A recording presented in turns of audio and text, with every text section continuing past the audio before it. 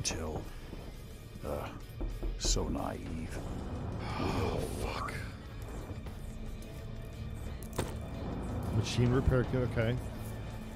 Pull out your hatchet and whack him. No. Oh God. He's. Oh shit! God damn it!